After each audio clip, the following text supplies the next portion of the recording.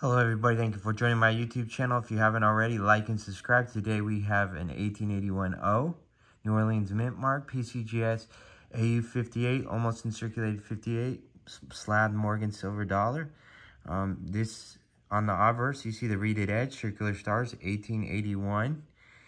Date on the bottom, E-player of this union, the flowing stars, the Liberty headband with the wheat sticking out the top, and the bonnet and that's the obverse. And then on the reverse, you see reeded edge, wreath, the O mint mark below the wreath for New Orleans Mint. In God We Trust, United States of America.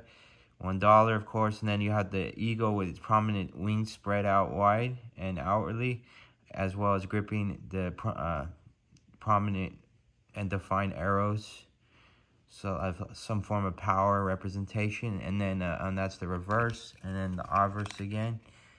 And as always, uh, thank you for checking out my YouTube channel. And if you haven't already, like and subscribe. And you all have a wonderful day. Bye-bye.